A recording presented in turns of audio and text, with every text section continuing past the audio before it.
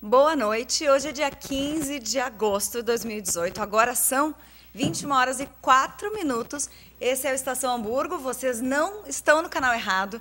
Eu não sou o Rodrigão, eu sou o Rodrigão por hoje. Um Rodrigão um pouco menor. Então, hoje eu sou Cristina Pacheco, eu sou jornalista e estou apresentando Estação Hamburgo hoje, nessa quarta-feira só de mulheres, como já é uma tradição. E o Estação Hamburgo é um oferecimento de Central de alarmes, manter em segurança quem se ama não tem preço. Monitore com a Central de Alarmes. Mercator, feiras e eventos, vem aí a Gerontofer, mais saúde, mais vida, de 3 a 5 de setembro no Serra Parque, em Gramado.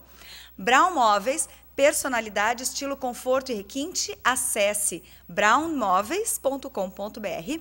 Sebratel, global como a internet, gaúcha como você.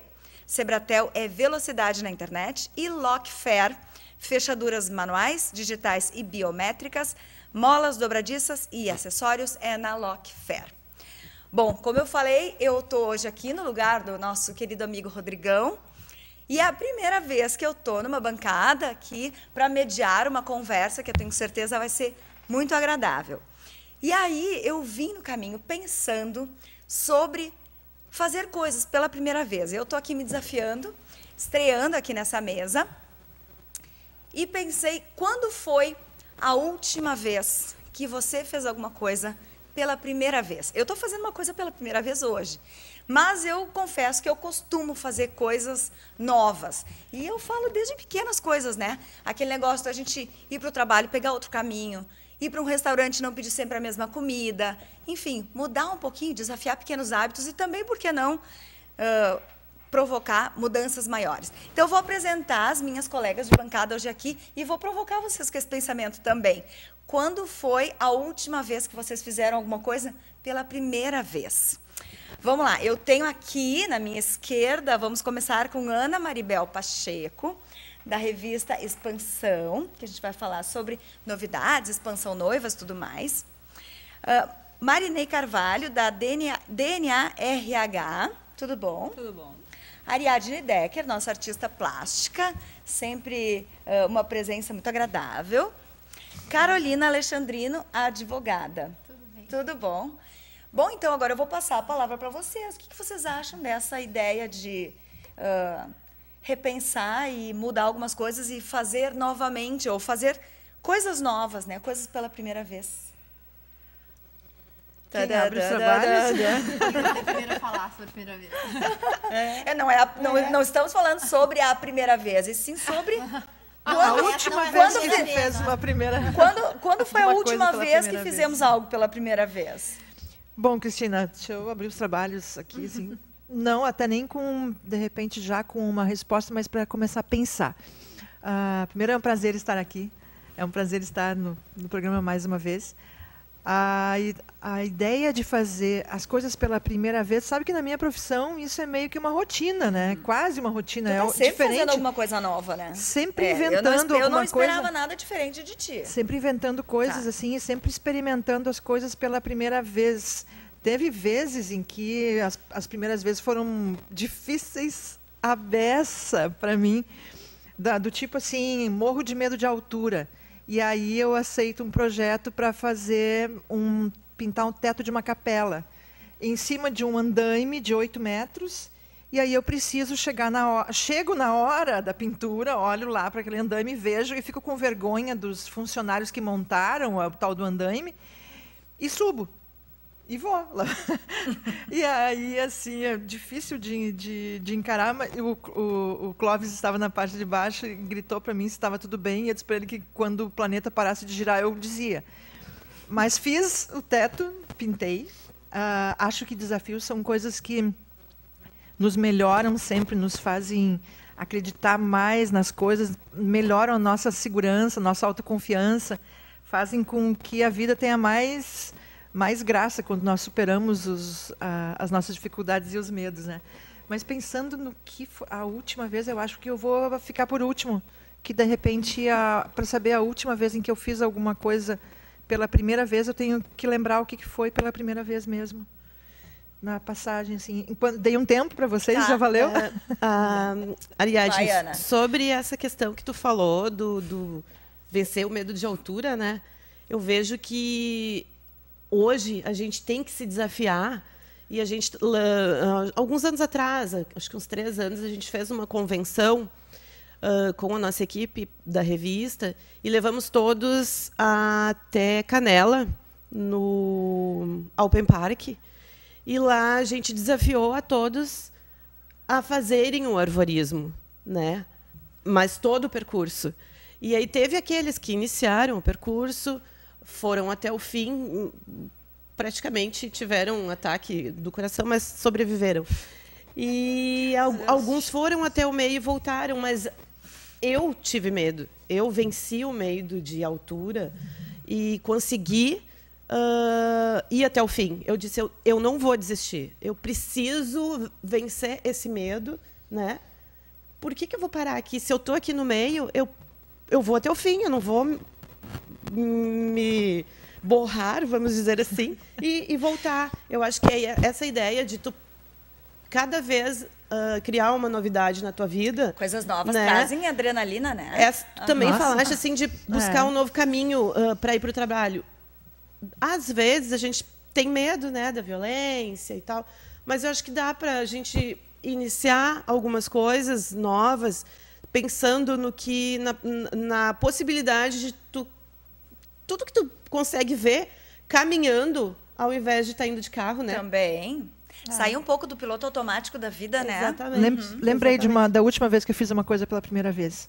Ontem à noite eu fui assistir um show de música francesa que eu nunca tinha assistido.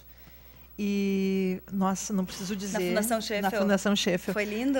Foi lindo, foi maravilhoso. A Luana Pacheco, que é a, a, a cantora e o grupo a que se apresentou. Ana, viu? É, viu?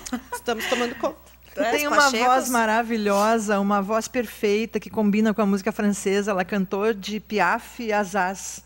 Então, assim, quem conhece música francesa sabe do que eu estou falando, assim, de Piaf e Azaz. Vamos com até uma, uma parte da ópera da Carmen de Bizet, ela cantou também, então foi um espetáculo maravilhoso e eu fiquei muito feliz de ter optado por ontem à noite fazer esse programa de assistir o show de música francesa. Foi lindo.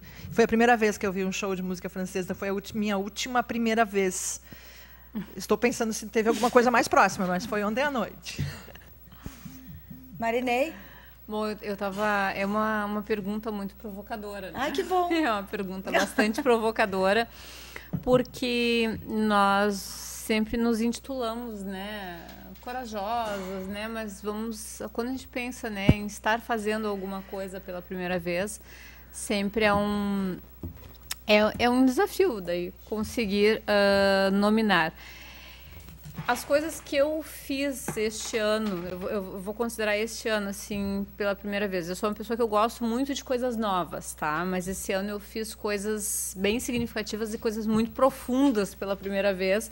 Eu tenho brincado, né, que eu tenho vivido 10 anos em 10 meses, né? Porque, uh, primeiro, eu tomei uma decisão muito importante que foi uh, mudar radicalmente radicalmente não, mas mudar toda a estrutura do meu negócio. Né? Isso exige muita coragem, porque eu mudei o nome, eu mudei a proposta principal, eu mudei o formato dele. Isso foi pela primeira vez e isso uh, me assustou muito, né? Eu, eu fiz muito assustada, mas também com muita coragem, com muita determinação. E foi algo que eu tenho caminhado, isso começou, é um processo que começou em novembro, né? Então, no decorrer dos meses, eu tenho visto resultados muito positivos, mas é algo que eu digo, todos os dias eu faço alguma coisinha nova pela primeira vez em relação a isso. E a coisa mais significativa que eu fiz neste ano, assim, que é algo que eu hoje eu tenho muito orgulho de falar, que foi pela primeira vez eu sempre fui uma pessoa com valores fixos, né, fortes assim. E eu tinha uma crença de que as pessoas, algumas pessoas na minha vida, no momento que elas saíam, elas nunca mais poderiam entrar. Né? Então, e inclusive esse programa ele acaba sendo muito marcante para mim, porque no Dia da Mulher eu estive aqui e, e, a Karina, que foi quem conduziu o programa, provocou um pouco falar sobre os homens e eu falei sobre meu pai, disse que era um homem ausente, né? Que tipo não tem o contato. E logo em seguida fiquei sabendo que ele, ele estava num processo de câncer fulminante. E eu fiz pela primeira vez na minha vida, né, uh, de mudar o meu conceito em relação às pessoas que a gente tira da vida e que a gente em algum momento pode resgatá-las e trazê-las de volta. E foi algo muito bonito, durou um mês e 28 dias, depois ele morreu, né? Mas foi algo que eu olhei para mim e fiquei com orgulho, porque foi algo que eu mudei e foi a primeira vez que eu fiz e eu disse, puta, fui corajosa por fazer e foi legal de ter feito e vale a pena sair do ponto fixo e mudar a perspectiva, né? Que bom, às vezes a gente não ser tão grudado, tão preso numa Com crença certeza. e se permitir, né? Com certeza. Se então. permitir. Bem importante. Carolina, tu pois quer dar a tua então. contribuição? Se quiser se abrir. Foi a última vez que eu fiz uma coisa pela primeira vez. Como uma boa geminiana, uh, eu, eu faço, eu acredito que faço com frequência, assim, uh, coisas inéditas. Mas um, esse ano eu comecei. Eu gosto muito de lutas. E eu sempre fui das lutas. Sempre lutei Muay Thai. Sempre fui dos esportes assim mais uh, pesados. Talvez numa, dentro de uma cultura machista dos esportes de menino. Né, o que eu acabo tentando mudar a perspectiva. Mas eu comecei no judô esse ano. Foi a primeira vez que eu, que eu fui para esse, esse tipo de luta. E. Hum, que mais? Olha, difícil isso. A última vez que eu fiz uma coisa pela primeira vez foi entrar no tatame, que era uma, foi uma coisa inédita mesmo, que eu nunca tinha feito. Mas eu vejo que eu estou muito mecânica, realmente. Eu, eu não mudo muito a perspectiva, eu acabo a partir de hoje nós vamos Tomando... cuidar mais, né? Não, não, pelo contrário. para ficar. porque a ideia do judô é caminho suave, né? Então a agressividade não, quase não está no script. Não, eu digo assim, de, a partir de hoje prestar um pouquinho mais atenção para fazermos diferente mesmo, né? Então, então é. assim, já que a Cris nos lembrou que nós temos uma rotina, que nós fazemos muitas coisas e da, da forma igual todos os dias, lembrar disso e, opa, peraí, vamos fazer diferente hoje. Vou passar por outro caminho, vou tentar outra coisa. Vou... Pois então, é que também isso é um pouco subjetivo, porque será que realmente nós somos a mesma pessoa quando a gente faz aquela coisa? É, é aquela ideia de Heráclito, né? Eu não sou a mesma pessoa e aquele rio não é mais o mesmo. Então, eu tenho um pouco de dúvida se, se realmente nós não nos transformamos e aquele caminho que a gente faz, em princípio, todos os dias, o caminho é o mesmo, mas a pessoa que está passando por aquele caminho talvez não seja. Mas daí, daí, eu, daí eu, eu, eu, eu acho que também é uma questão muito de perspectiva, porque às vezes as pessoas uh, fazem o mesmo caminho e continuam sendo as mesmas pessoas. É tudo uma questão de consciência, eu Exatamente. acho. Né? Eu tenho um problema. Eu tenho um problema de quando eu estou acostumada com um caminho, eu ligo o piloto automático. Às vezes eu queria ir para outro lugar e quando eu vejo, eu estou indo para o mesmo. E aí eu digo, opa, peraí, não estou indo para lá, estou indo para né? outro. É o comodismo, né? É, eu, é no piloto automático mesmo. Tu entra, tu registra que... aquele caminho e faz sempre o mesmo. É, em Ariadne, é. tu falaste assim do, do piloto automático. Mas às vezes a gente, é, é, quando a gente faz viagens a trabalho, assim, vai todo uma vez por mês a Gramado ou uma vez por mês a Nova Petrópolis. E me apresentaram alguns caminhos alternativos que eu curto demais, assim, de, hoje eu vou, eu tô com tempo, hoje eu vou por esse caminho novo. E a gente conhece tanta coisa legal, tanta novidade, uhum. e, e, tu consegue ir um pouquinho mais devagar. Uhum. E é uma estrada que não é asfaltada, então realmente tem que ir um pouquinho mais devagar. Ter em mente, isso é muito, muito, muito importante, muito legal, né? Porque realmente, como tu disseste, se eu vou para um lugar, eu posso focar naquele lugar e tentar outro caminho, eu vou conhecer melhor, vou conhecer melhor minha cidade, vou conhecer melhor as cidades por perto, outra estrada, outras paisagens, é. outras coisas a gente vai com olhar, com olhar de turista e o turista ele tem um, um, olhar que se espanta mais com as coisas, ele presta mais atenção. A gente, nós somos, quando nós estamos como turista, nós temos uma capacidade de espanto, uma capacidade de ver as coisas de uma, uma maneira diferente. E encarar a vida dessa forma, nós vamos prestar muito mais atenção, aprender muito mais e enriquecer o nosso dia a dia muito mais se nós tivermos essa essa em mente isso, vou fazer diferente, vou vou ver tudo que eu estou fazendo, vou prestar atenção por onde eu estou passando. Né? Isso é uma maneira diferente de encarar a vida, é uma, uma forma de, de poder enriquecer a nossa experiência cotidiana. É, eu acho muito legal lembrar mas disso. Essa quebra do mecânico, ela requer duas coisas. Além do tempo, uhum. né, ela requer esse, essa, esse autoconhecimento, né? De eu estou tentando ver isso por outra perspectiva, porque Sim. nessa sociedade líquida, em que as coisas são muito rápidas, são muito volúveis, em que as pessoas não têm muita proximidade, o tempo é muito difícil de, de tu conseguir parar e pensar, não, agora eu vou ver isso por outra perspectiva, vou pegar um outro caminho, vou me ver como um turista. A gente está sempre sem tempo, sempre, uh, enfim, sem essa, sem essa vivência de tentar extrair uma coisa diferente daquilo que a gente está passando dentro da nossa rotina. É verdade, é verdade. É, eu tenho, eu, eu tenho um pouco de, eu tenho questionado um pouquinho a questão do tempo, porque o, o tempo ele está escasso para todo mundo, né? Cada vez mais a gente tem que dar conta de mais coisas.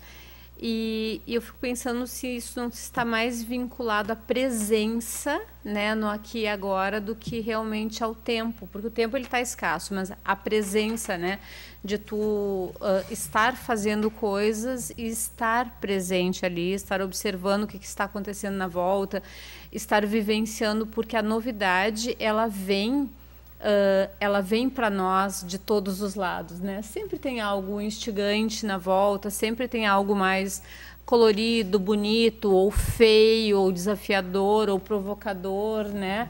O mundo tem muito isso, né? Se a gente caminhar no centro, aqui no centro de Novo Hamburgo, a gente vai ver várias coisas. Se a gente só caminhar na rua presente, a gente vai ver coisas provocadoras, coisas lindas, coisas feias, uh, coisas moralmente né, uh, que a gente não aceitaria, coisas que eticamente a gente valoriza muito. Então, tem uma questão de presença e de olhar. Eu, eu, tenho questionado muito tempo porque eu já me convenci que, ok, né, não, não tem tempo para tudo né? Eu ah, tenho... não, isso, isso eu não consigo. Okay, para mim isso não é ok. Até porque na minha profissão isso é muito difícil, porque a gente, eu trabalho muito com o tempo, né? O cliente chega prazo. e pergunta assim, qual é o tempo, quanto dura um processo? Quanto dura um processo? E porque o tempo um do processo? processo? não é o tempo da vida. Uhum. E eu não tenho como responder, porque não depende de mim, depende de um juiz, depende do Ministério Público, depende daqui a pouco da prova que você produzir. Não, eu não tenho como uh, quantificar isso. Uhum. Ah, vai ter o processo vai durar de um ano a dez anos. Né? E tem um livro muito interessante de um professor da PUC, que é meu orientador, inclusive, uh, que é a, dura, é a, duração razoável do processo. E ele comenta isso, que o tempo de hoje não é o mesmo tempo dos nossos avós. Porque os nossos avós, eles saíam do trabalho, eles iam para casa, almoçavam, faziam uma cesta, conversavam, tomavam um chimarrão e iam para o trabalho novamente. Vocês conseguem fazer isso no horário do meio-dia até uma e meia? Uhum. Eu não consigo. Entendeu? Então, alguma coisa aconteceu que esse tempo, talvez por atividades paralelas, que a gente tem as redes sociais, a gente tem as um, micro, um, micro grupos que a gente acaba se dedicando muito. Então, uh, talvez isso tenha feito que o nosso tempo de. daquele tempo que a gente disse que a gente aproveitou realmente seja mais escasso. Mas eu não consigo aceitar isso, que ok, que o, o, o tempo pode que o Pode... tempo é escasso? É, ok que o tempo é escasso e eu aceito isso numa, numa boa, numa tranquilidade. Para mim, não, isso é muito difícil. É. Eu, eu, tenho uma, uma, uma confusão interna em aceitar Mas a gestão do tempo é um tudo. desafio dos nossos dias, com é, certeza. Não, e eu sou uma geminiana procrastinadora, né? E eu sei disso, eu, eu admito isso. Eu procrastino muito na minha vida. Né? E, e, isso pode ser, enfim, daqui a pouco a psicologia explica. Mas isso é muito difícil para mim. É, eu, eu vou colocar um, um ponto de vista que eu tenho em relação a isso, né? Porque hum, há poucos dias estava conversando, né? Minha área é filosofia, né? Então estava conversando com um amigo filósofo, né, da filosofia, e nós estávamos falando um pouquinho sobre esta questão dar conta, né? Sobre vida, morte, né? Porque quando morre alguém, normalmente, né? Quando morre alguém jovem, a, a gente entra numa numa questão de pensar, né? ah, mas olha só, a gente volta para casa pensando, né? Tem que amar mais, né? Viver mais, sorrir mais, fazer tudo mais. mas não tem, tu, tu, por mais que tu faça, tu não dá conta de tudo, né? Isso é uma coisa tu pode fazer muitas coisas, mas a vida é algo muito amplo para dar conta de tudo. Ah, hoje, o que, eu, o que eu vejo que mudou muito em relação aos nossos avós são as nossas opções, né? Uhum. Cognitivas mesmo. Uhum. Antes nós tínhamos dois, três canais, cinco canais na TV. Quando eu era pequena, eu me lembro de ter, ter cinco, né? Hoje tu fica mais tempo lá no Netflix zapeando para o filme do que realmente olhando é, ele. Exatamente, do que assistindo. Então, cognitivamente nós temos muito mais estímulos, né? Então, eu eu eu, eu me convenço com a questão de que a gente tem menos tempo. A administração de tempo ela passa a ser realmente um desafio e fazer escolhas dentro disso, né? Cada vez mais a gente tem que entrar num, num momento interno de fazer escolhas. O que, que é realmente relevante, o que, que é importante, o que, que eu quero fazer, aonde eu quero colocar o meu tempo. Isso eu vejo que com a maturidade vai mudando muito, Sim. né? E, e, inclusive, é muito difícil a gente quebrar paradigma, quebrar padrão, porque as pessoas dizem não, né? Porque eu tenho uma crença, né? As pessoas, eu tenho, tenho um problema com a palavra qualidade de vida, né? Tenho um problema com a palavra qualidade de vida, porque as pessoas dizem uh, qualidade de vida está associado, né? Tu fazer as coisas com calma, né? Daí tu vai lá, faz o teu pilates, faz, né? Eu tenho um pouco de problema com isso porque eu digo assim, eu gosto de viver apaixonada pelas coisas. E para mim, tudo que tu faz pelo qual tu é apaixonado, aquilo vai te tomar mais tempo, aquilo vai te, mas aquilo vai te dar vida, vai te fazer, te dar tesão, te vai te dar vontade de fazer realmente acontecer, né? Então essa questão tempo eu acho ela relativa, acho que ela tá mais escassa, por isso que eu defendo muito a questão da presença e das escolhas, né? Uhum. Aonde tu coloca teu tempo, né? No que, que realmente é útil e importante para ti, né? Porque uh, hoje também é muito fácil tu, na sociedade líquida, né? Uhum. Que, que o Bauman fala muito lá, é, é, é, fácil tu colocar o teu tempo em relações que também não te agregam nada, né? Então escolhê-las também é importante, né? Eu concordo contigo quando, quando tu fala na presença, eu chamo de presença de espírito porque assim, tu estar presente, tu fazer alguma coisa, estar realmente presente ali, estar uhum. realmente é, percebendo o que está acontecendo ao teu redor, é, estar realmente captando o que está acontecendo, ter uma resposta para aquilo, aquilo fazer parte do teu processo de aprendizado, de crítica, de, de apropriação do, da, da, da situação. Eu acho que isso é muito importante. As pessoas fazem as coisas ah, muitas vezes mecanicamente e o tempo passa pela janela. Uhum. Ah, quando tu estás presente, ah, às vezes eu digo para as pessoas assim, olha, eu não tenho tempo nenhum, mas eu tenho todo o tempo do mundo.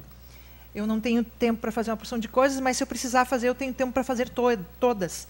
Então, ah, essa, ah, o estar presente neste momento, perceber o que está acontecendo, observar, passar isso pela tua consciência, e não deixar as coisas passar por ti, eu acho que a gente aproveita melhor o uhum, tempo. Com certeza. Nas nossas relações, em tudo, no trabalho, em tudo, no teu se, se o teu trajeto de uma hora for aproveitado para pensar alguma coisa, para observar, para trocar, para fazer alguma coisa, esse tempo ele se multiplica. Uhum. Então eu, eu acredito eu acredito no que tu estás falando e eu chamo isso de presença de espírito, aquela pessoa que responde ao estímulo e que faz com que as coisas realmente tenham uma um, tenham um resultado. Uhum. Eu vou dar um exemplo para vocês de alguém que tem feito o tempo de uma maneira muito relevante.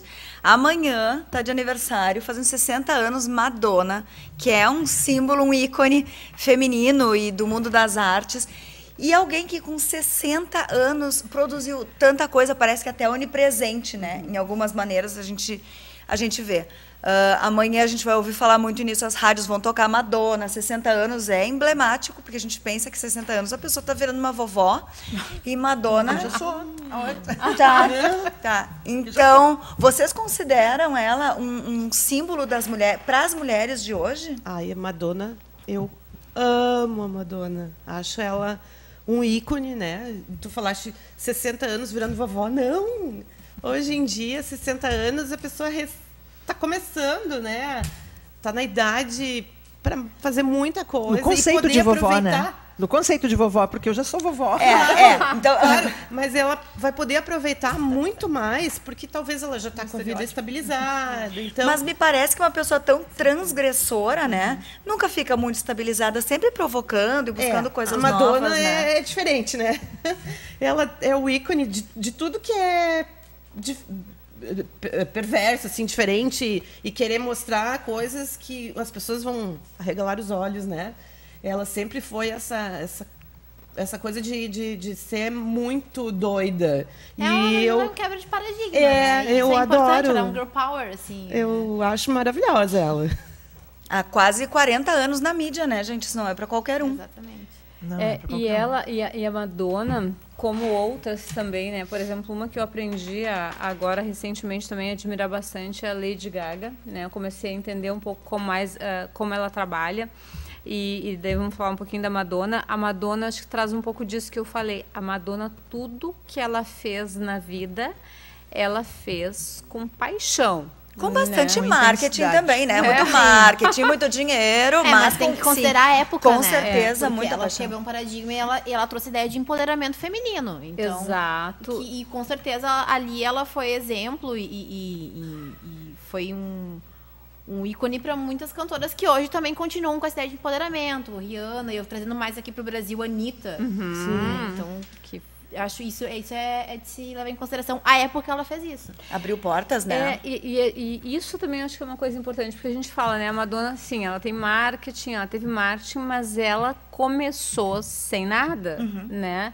E ela começou com muita determinação e muita paixão. E ela começou aceit não aceitando fazer as coisas de uma forma diferente daquilo que ela desejava fazer, né? E, obviamente, isso deu um resultado muito positivo. E depois ela pegou toda a mídia e todo o marketing para fazer mais daquilo, né? Então tem uma coisa desacomodada nela que eu particularmente acho maravilhosa. Assim, ela, ela tem uma sede, né, de, de vida, de coisa diferente da eu acho primeira que a gente pode vez. dizer que ela né? deve ter feito muitas coisas pela primeira vez né, no decorrer da vida. Eu tenho o meu ícone brasileiro assim de música também que vai nessa, nessa linha só que sem uh, essa parte uh, estética, talvez. É, eu sou fãzona a vida toda da Rita Lee. Ah, ah, não, a Rita Lee é outra. A Rita Lee transgressora, é outra né? transgressora, Isso. é outra transgressora, um ícone que falou do empoderamento da mulher na vida toda. A nossa única roqueira, única, porque nós falamos hoje assim de outras roqueiras e outras uh, cantoras mas elas não são a compositora, não são compositoras como a Rita Lee. A Rita Lee compôs desde a época dos Mutantes, ela já era a compositora do grupo e nós estamos falando de 67, que os Mutantes já ela já aparecia vestida de noiva na televisão cantando e aparecia de cor de rosa e aparecia de Miss Brasil 2000 e a, ela foi uma ela é um ícone de, da transgressão brasileira não tem a mídia que a Madonna tem, uhum. não tem o investimento que a Madonna tem, nem a carreira internacional que ela tem, mas eu acho que em termos de cultura brasileira e de, da nossa realidade aqui, ela é um fenômeno. Assim, trilha, ela trilha é... com muito, muito brilho o seu caminho, né? Muito, muito brilho. E agora com livros, para a gente poder ler e se deliciar, né? Para se deliciar. Gente, eu vou com... ter que chamar o intervalo, a gente vai fazer uma pausa rápida aqui, agora são uh, já passa das nove e meia. Então, o intervalo agora para os comerciais e a gente volta em seguidinha com a Estação Hamburgo.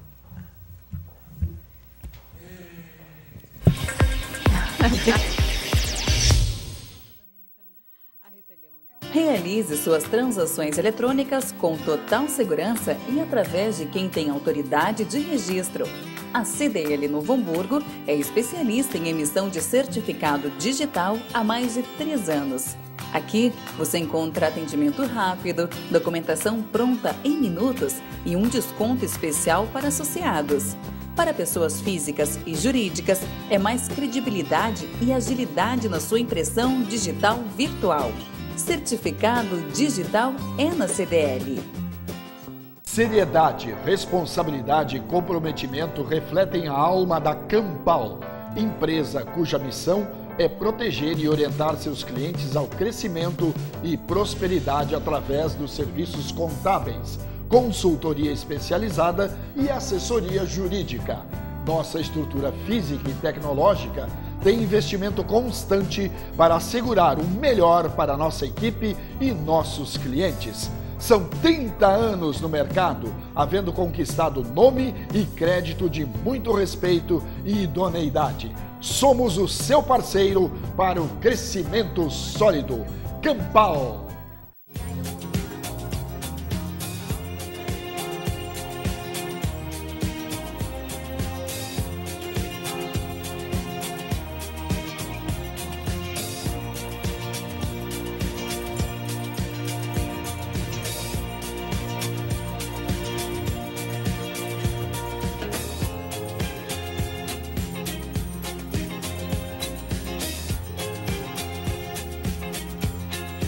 Chegou a hora de ser global com a Sebratel.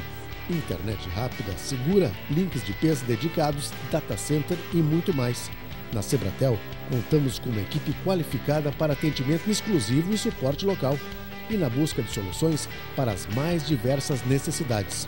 Contamos com uma rede de empresas parceiras por todo o Rio Grande do Sul. Assine Sebratel e viva o sucesso do seu negócio.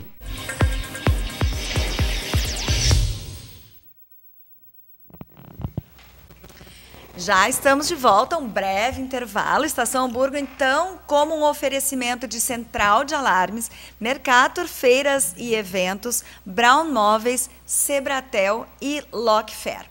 Eu vou comentar com vocês algumas interações que a gente tem aqui no Face. Quem quiser acompanhar também estamos ao vivo no Face. Na audiência, Mara Yolanda Rubim, Sônia Maria Henneman, Marcelo Clark Alves, que lembrou Cássia Heller, né, nesse nosso papo das artistas revolucionárias e transgressoras. Marcelo, toda razão. Cássia Heller, com certeza, maravilhosa. Isabel Scheid, minha querida tia, muito obrigada pela audiência. Lembrando também Rita Lee, Santa Rita Lee, a padroeira das ovelhas negras. Mônica Pilger também na audiência. Gente, muito obrigada que vocês estão uh, nos assistindo pelo Face, também por aqui na Vale TV, canal 14. E sigam interagindo conosco pelo Face, que a gente está dando uma olhada aqui, aqui nas redes sociais, a gente está de olho em tudo. Bom, retornando, eu vou agora chamar umas pautinhas que a gente tem aqui com as nossas convidadas. A Ana Maribel Pacheco, com a sua revista Expansão, trazendo novamente esse projeto do Expansão Noivas. É um projeto que, assim, a gente fala muito no, no feminino, nas mulheres, mas a figura da noiva segue como um, um momento mágico, ímpar na vida, por mais uh, feminista, empoderada que a mulher seja, todas nós gostamos desse momento de protagonismo também, né? Com certeza. Hoje em dia a mulher fala, ai, não vou casar vai, vai casar. Quando acha o príncipe encantado, ela quer casar. É, que é uma simbologia linda, né? Sim. É, uma né? cerimônia bonita, é um momento de comemorar, as pessoas querem celebrar. E por que não fazer, né? Com certeza. Talvez não mais aquelas festas enormes, mas a festa pequena. Mas tem de tudo, né? Tem, tem de tudo. Tem festas de Babilônia e tem festas íntimas, Com né? certeza. Isso. Então, assim, a gente está finalizando a oitava edição da expansão Noivas. Essa aqui é a do ano passado, a sétima edição. E uma das novidades que a gente tem esse ano é o evento que a gente vai fazer de lançamento da oitava edição. Vai ser dia 15 de setembro, lá em Igrejinha, no Ecolande. E é dirigida né, aos casais de noivos que estão pensando em casar e aí eles. A, a gente está recebendo uma convidada aqui na nossa bancada. Uma, uma, uma futura noiva. Uma, uma, pequena convidada, Mirim, a Valentina. Tudo bom, Valentina? Junte-se a nós, então. Muito obrigada. Vamos lá, Ana, então. Então, aí esse evento a gente está preparando com grandes novidades, né? Aqueles apoiadores da revista estarão lá apresentando seus produtos, os seus. Quase uma feira de serviços. Exatamente, né? Uh, só que assim, a gente quer que todos os noivos, quem está pensando em casar, quem já está com a data marcada, que vão lá conhecer todos esses essas novidades, receber a revista. Uh, a gente também está disponibilizando um ônibus uh, e a gente pede que as pessoas façam a sua inscrição, porque o ônibus tem 40 lugares, então, né? Uh, a, gente, a ideia é receber 50 casais. Então, alguns vão ter tá, lugar tá, como no é que ônibus. são essas inscrições? Através do nosso portal, do Facebook, das redes sociais da revista. Ou então no telefone, que é o 3065 6380. Tá, e aí fechou, encerrou, acabou, ninguém mais entra ou Não, não, não, sabe, no ônibus, no ônibus. Ah, no ônibus. E no lá? ônibus. Lá a gente vai receber, também a gente precisa da inscrição para organizar melhor a, a parte do, né? do brunch, né, que a gente ah, ah, vai abrir os, o evento às 10 horas da manhã mas o brunch é a partir das 11 até as 2. Então, essa programação a gente precisa então da inscrição das pessoas para melhor receber todo mundo. Ah, vai ter degustação, a gente vai ter também alguns sorteios bem legais. Tem custo de quanto, Ana, para quem quiser participar? É de graça. É bancado pelos patrocinadores. Exatamente. Gente, tem brunch, vai ter comidinhas de casamento, vai, tudo. Vai, ter degustação. Quem já está casado há muito tempo pode ir. Mas eu acho que todo mundo vai curtir bastante, que a, a, a, a preparação desse evento está sendo bem elaborada e para as pessoas saírem com várias novidades, né, no, no ramo Porque de casamento. Tem isso, né? As coisas mudam, né? Os casamentos te, dá trazem. Pra, dá para ir para pensar no aniversário de 25 anos de casado?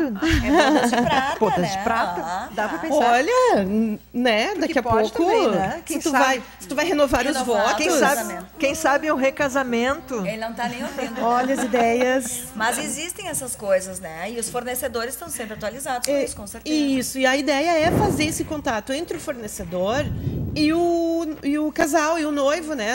A, a noiva, mesmo que seja para comemorar os 25 anos. Se vai ter festa, tem que ter o fornecedor. Claro. Eu acho que a Valentina quer falar alguma coisa. A Valentina, ela tá beijando o microfone aqui. Bom, Marinei, eu vou. Bom. Ana, obrigada pelas informações. Muito legal. Acho que vale a pena todo mundo ficar de olho de dia olho. 15 de setembro, né? Isso. Já está aí. É só ligar para a gente ou entrar no nosso site, expansãores.com.br. Legal. E com apoio da Vale TV.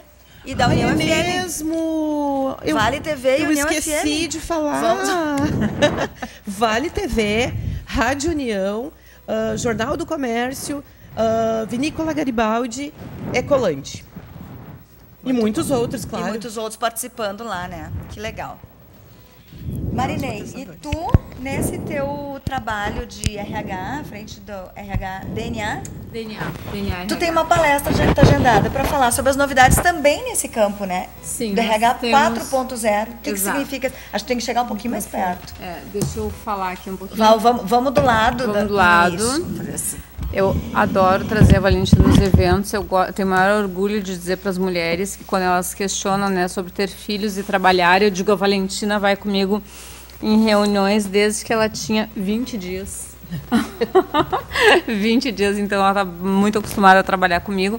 Mas assim, nós temos agora no dia 21 uma palestra, desculpa gente, uma palestra aqui no CDL em Novo Hamburgo, onde nós vamos falar de RH 4.0, as relações do futuro do trabalho, e nós vamos conciliar também com uma palestra que é com o Fábio Jungs, falando sobre as relações do futuro do dinheiro e principalmente falando de Bitcoin e blockchain. É, nós estamos falando então sobre as relações do futuro no trabalho e as relações do futuro do dinheiro, né? Nós estamos num momento agora de falar de 4.0, onde o desempenho Uh, nas empresas ele tem que ser muito mais relevante do que o operacional em si. Então eu vou falar, vou aproveitar esse momento então para falar para o empresariado, né? Uma, é uma reunião muito voltada aos donos de empresa, aos diretores de empresa. Porque às vezes ainda tem um pouco de uh um pouco de bloqueio das grandes empresas de trabalhar dessa maneira mais fluida, como as pequenas empresas às vezes conseguem ter mais mobilidade, né? De falar de entrega de resultado e não de horário, e não de cumprimento de, de, de enfim, é, existe um dado hoje muito importante, Cris, que é o seguinte: uh, as pessoas elas estão cada vez mais desejando estar satisfeitas no trabalho. Existe um dado muito importante que é 50% das pessoas no nosso mercado de trabalho no Brasil hoje preferem não ter um emprego a ter um emprego que elas não se sintam plenamente satisfeitas, tá? Uhum. Então, uh, nós estamos falando muito, tanto para pequena, para média e para grande empresa, o quanto é importante investir hoje em desenvolvimento de pessoas, uhum. porque isso não, não é algo para daqui a 10 anos, isso é algo que no ano que vem, daqui a dois, três anos, vai fazer muita diferença. Né? Então, a nossa palestra é dia 21 é uma palestra gratuita né, para gestores de empresa, então quem tiver interesse pode ligar para o CDL ou pode ligar diretamente para a DNA, que é no 30 35 20 66. Nós fazemos a inscrição e são pessoas, né, nós queremos uh, ofertar então essa palestra gratuita para pessoas que queiram entender qual é o futuro então uh, do trabalho no Brasil para daqui a dois, três, quatro, cinco anos, para que as pessoas possam preparar as suas equipes. Muito bom, muito salutar a gente pensar nisso, sempre revendo esses momentos. Eu quero registrar aqui também que está conosco, nos acompanhando pelo Face, Márcia Regina Schroeder, a Viviane Luckman dos Santos, o Egídio Mittelstedt, Fábio Junges, muito obrigado pela audiência, pelos comentários de vocês, o pessoal está elogiando, está participando aqui junto conosco. Uh, a gente está falando desses momentos de mudança e não tem como não falarmos da eleição que está vindo aí, né? Um ano que está se esperando tanta mudança, né? A gente está esperando tanta renovação, a gente está falando tanto de fazer coisas diferentes. Será que conseguiremos fazer coisas diferentes? Na sexta-feira uh, teremos uma nova oportunidade de um debate, né? Com os candidatos a presidente. Ontem aconteceu um debate na Unicinos com os candidatos ao Piratini. Uh, se eu não me engano, não estavam todos. Foi um, uma, uma, uma, iniciativa do DCE, da Unicinos, que fez esse debate com alguns candidatos que foram convidados compareceram. Mas a gente acaba olhando mais para os candidatos a presidente, apesar de que sabemos que é tão importante votar no presidente, é, é tão importante o Congresso também, né, os deputados, porque é, o presidente acaba ficando meio amarrado no que acontece e nessas articulações. O que, que vocês estão esperando disso? E eu queria também perguntar o que, que vocês acham? O que, que falta para as mulheres melhorarem essa participação? Fazendo meia-culpa nosso aqui. Eu acompanho um Instagram chamado A Candidata, Uh, é um perfil no Instagram que ele, eles ficam ressaltando as mulheres candidatas ou as mulheres que têm mandato, o que, que elas fazem, como é que são essas, essas performances. E é um assunto que eu fico curiosa, assim, se a gente uh, deveria, de que maneira participar mais. Ontem saiu no na Globo News, no, naquele programa central das eleições, o perfil do eleitorado 52% mulheres. Eu queria ouvir a opinião de vocês. O que, que vocês acham? Como é que fica nesse momento de discursos retrógrados, discursos machistas? Como é que as mulheres estão se colocando eu nisso vou, daí? Eu posso só começar. Primeiro vou eu, dar um eu beijo. Sei, eu sei que tu também vai ter um discurso talvez com, afinado com o meu. Eu quero primeiro mandar um beijo, tu, tu comentaste da Márcia Regina Schroeder. Ela é minha mãe, porque eu tenho um Schroeder no meio do Alexandrino, só que olá, eu dou uma sonegadinha olá. nele, tá? Então, um beijo pra minha mãe que tá me assistindo. E, e depois, não, não quero, eu não quero atrapalhar a pauta, mas eu vou fazer uma provocação para a colega. Uh, já que tu comentaste de novos profissionais mercado de trabalho, eu vou pegar uhum. uma consultoria aqui, de graça, se é possível. eu queria, ver, queria saber de ti o que a tua análise sobre o profissional do direito frente às novas tecnologias. Porque hoje tem robô que faz petição. Né? Hoje a inteligência artificial está cada vez tendo, criando, tendo mais espaço. Uh, tem, juiz, tem um robô que vai fazer sentença logo mais. Então, depois, depois da pauta política, se tiver tempo hábil, claro, só a gente deixa para o próximo, pro próximo programa, queria ouvir de ti esse, esse, o que seria uma dica, se tu pudesse, para um profissional do direito agora, que está iniciando, frente a essas novas tecnologias que são assustadoras, né? Se a gente vai ser substituído por máquina, ainda mais a advocacia, que é uma, uma profissão que, que, enfim, ela é uma profissão totalmente intelectual, né? E hoje tem máquinas que fazem o trabalho do advogado com muita tranquilidade e, por vezes, até melhor. Temos 12 minutos. Ó, até então o final tem. do programa. Mas sobre a questão política... Porque voa, voa. É, desculpa, né, já estou mudando a pauta aqui. Mas sobre a questão política, hum, sinceramente, eu não tenho perspectiva nenhuma de melhora frente ao cenário atual. Uh, o último debate, para mim, foi um, uma grande criação de memes aquilo. Foi quase um talk show, uma coisa horrível. Um, eu achei horrível, assim, candidatos sem preparo nenhum, propostas vazias, discurso mais do mesmo. Uh, aqueles que têm um discurso de radical e, e, enfim, que falam aquilo que a internet quer ouvir, falaram aquilo que a internet quer ouvir. Uh, tivemos personagens um tanto quanto pitorescos, né? Eu acho que todo mundo está sabendo o que eu estou falando. E, enfim, a gente tem, uh, numa cidade que está muito polarizada entre direita e esquerda, a gente tem uma esquerda muito enfraquecida, né? E uma direita com, digamos assim, reacionária. Então, eu não vejo a mínima, assim, esperança de uma mudança uh, qualitativa.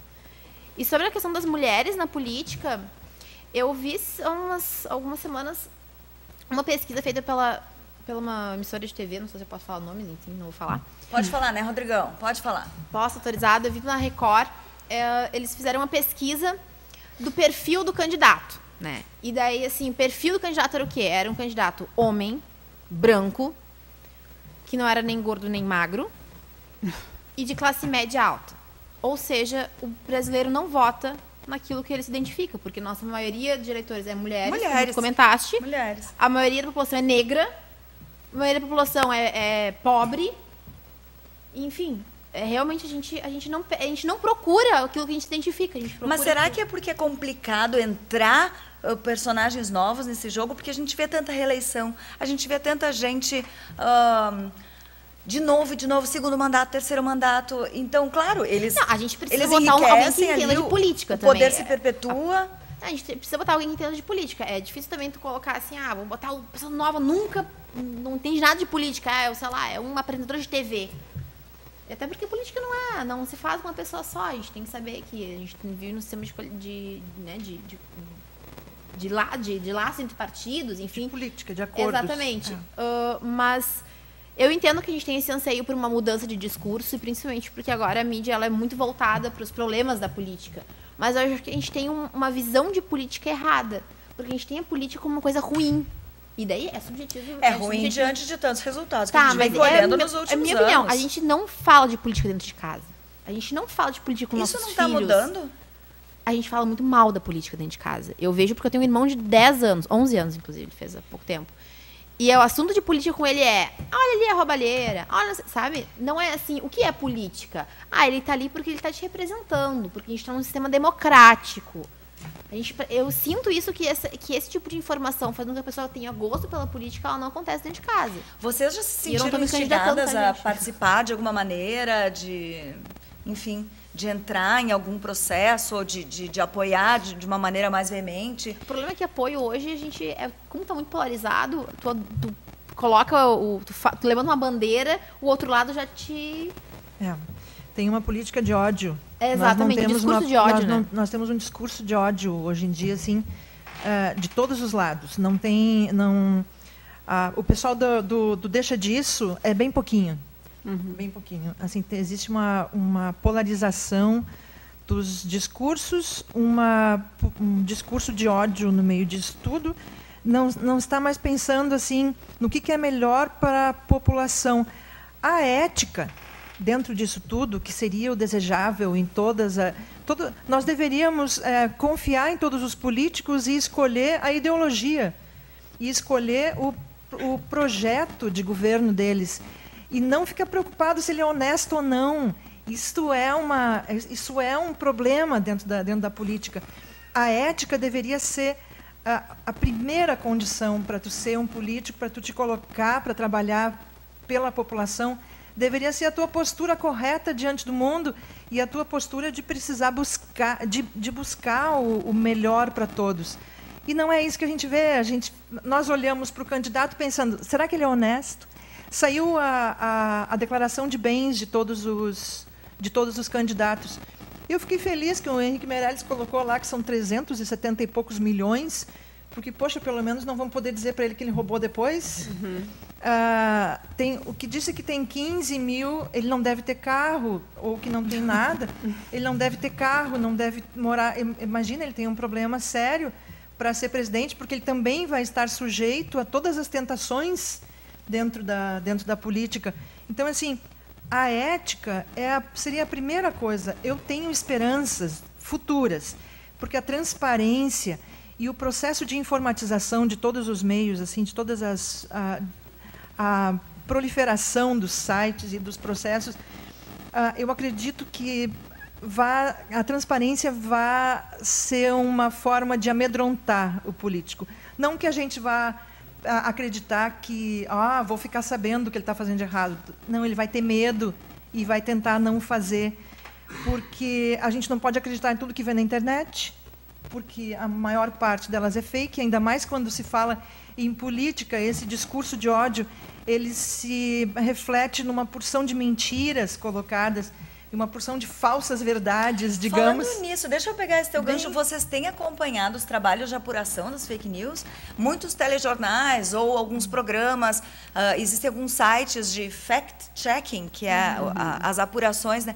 Estão buscando... Uh, Tem muita gente preocupada com isso. Essa, é, uhum. Vocês estão procurando isso?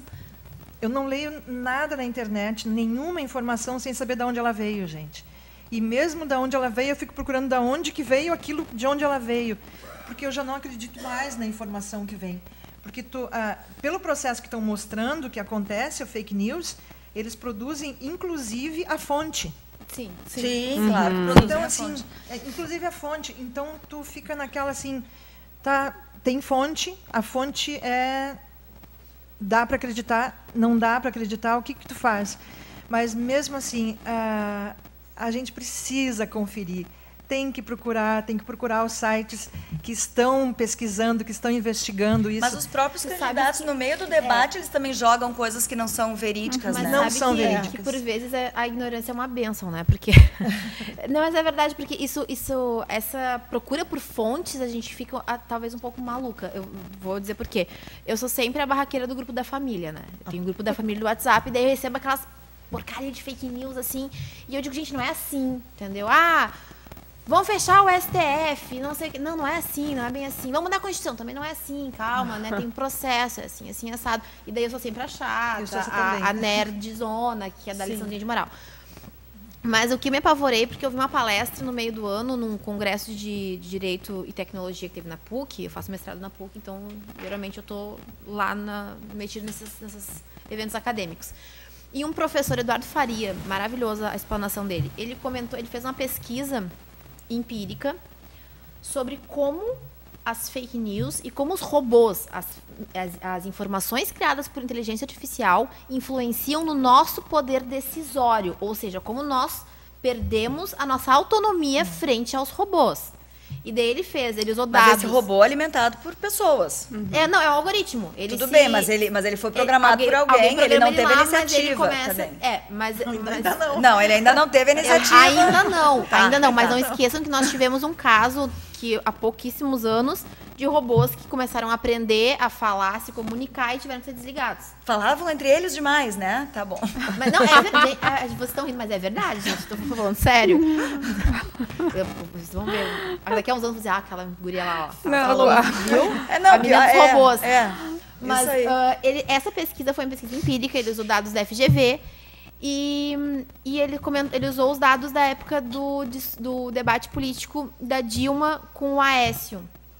E 85% dos tweets eram feitos por robôs.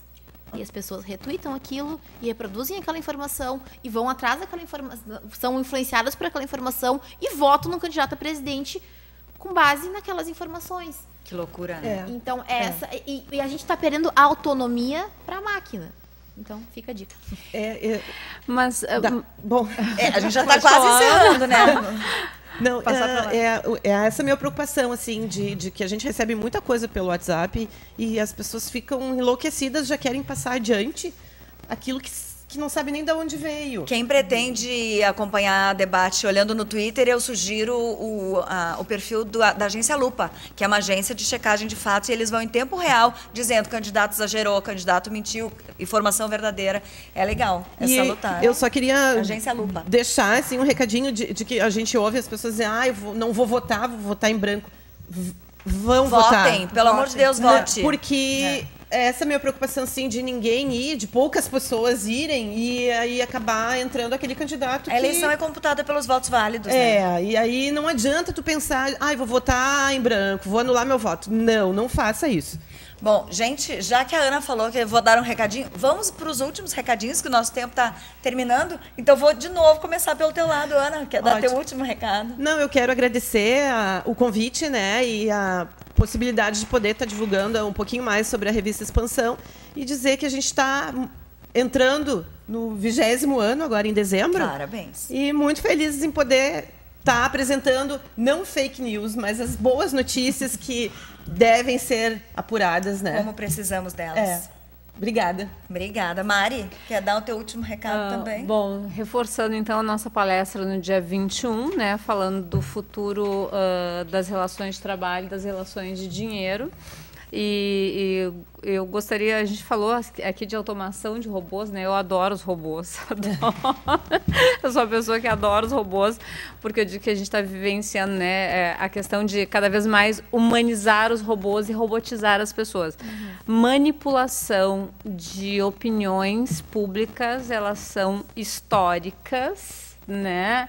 Desde lá da época do pão e circo a gente tem isso, então não é uma novidade. A tecnologia ela é muito boa, né? A questão é o que se faz com a tecnologia e daí a gente entra nas questões éticas humanas, né?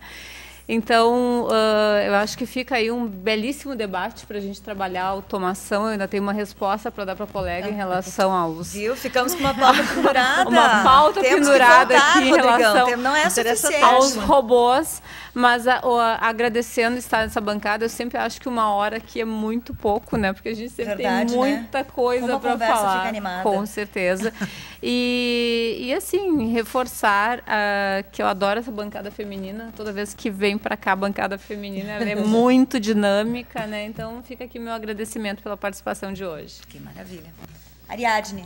Bom, uh, já que eu não, não falei antes, assim, uh, quem quiser pela primeira vez desenhar, quem quiser pela primeira vez ter uh, aulas de história em quadrinho, meu ateliê está à disposição ali no bairro de Hamburgo Velho.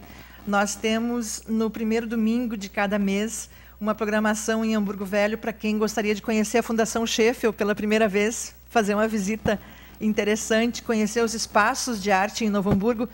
Em Hamburgo Velho, que são quatro espaços em uma quadra, nós temos uma galeria de um coletivo de alunos da Fevale, uma galeria de arte contemporânea, o Estúdio Aledui, o meu ateliê com a galeria de um artista e cursos de desenho e de pintura comigo, com o Marciano Schmitz e com o Daniel HDR. E temos o Museu Sheffield, que não está aberto durante a semana, mas abre no primeiro domingo de cada mês com visita guiada. Então, assim, nós ficaremos muito felizes de recebê-los no BRIC da Estação, que acontece ali no bairro de Hamburgo Velho nesse, eh, a cada primeiro domingo, a partir das duas horas, pra, e, e sai dali do BRIC este passeio, que é um passeio curto, mas com certeza vai enriquecer muito a experiência cotidiana de todos. Não, está aberto no primeiro. A, o, a Fundação Sheffield não está aberta, nem o meu ateliê, nem o Espaço Ledui, nem a Galeria nada, Amarela, resumindo nada, nos finais de semana. Uh, no primeiro domingo de cada mês, ele abre com visita guiada. Então, assim, é uma experiência muito interessante, é uma experiência de país de primeiro mundo, para quem para quem está acostumado a ver, a ver isso, sim, e para quem já teve a experiência de, de viajar, mas é um, uma experiência renovadora é uma surpresa. São quatro espaços de arte em uma quadra, um passeio feito a pé e muito interessante para crianças, para adultos, para todas as pessoas que, que quiserem fazer. E o meu ateliê está às ordens. Eu gostaria de recebê-los lá a qualquer momento durante a semana. Nós ficamos abertos até 10 horas da noite. Obrigada pelo convite para participar aqui e pela rápida agora metralhei assim as informações. Carol. Super rápida, né? Porque a gente tem que encerrar. Então, eu queria agradecer novamente o convite. E eu queria parabenizar essa bancada 100% de mulheres, né? uma bancada empoderada. Tem que continuar, tem que manter isso, viu? manter isso daí. Tem que manter isso daí. Então, muito obrigada pelo convite pelo, pela, da Vale TV e boa noite. Eu quero registrar os últimos comentários. A Viviane Lucman dos Santos, adorando a qualidade desse programa, concordo com a falta de perspectiva política, infelizmente. Mas a Regina Schroeder, então, aqui, a, a mãe querida. Eu creio que as mulheres devem ser mais agressivas no meio político, pois tenho certeza que somos competentes. E o Fábio Junges sumiu. O caso da Cambridge Analytics e Facebook nas eleições americanas provou que a manipulação das informações na internet é algo muito utilizado pelo mal. Então, Viu, atenção, né? É, Vamos ter aqui muita consciência nesse momento. Gente, eu tenho um registro ainda a fazer, muito importante. Nosso câmera querido Fabinho está de aniversário hoje. A gente falou do aniversário da Madonna, tem os ah. outros superstars de aniversário hoje. Fabinho, Parabéns para ti, muito obrigada parabéns, pelo Fabinho. teu trabalho. Fica parabéns. aqui nosso carinho. Nossa, acho que a gente não vai cantar parabéns agora, porque a gente talvez vai desafinar, né? gente, muito obrigada pela companhia de todos vocês. Foi um prazer essa minha primeira vez.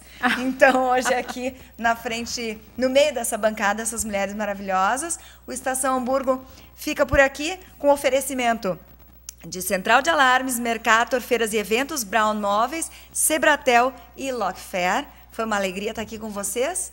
Até a próxima. Boa noite. Boa noite.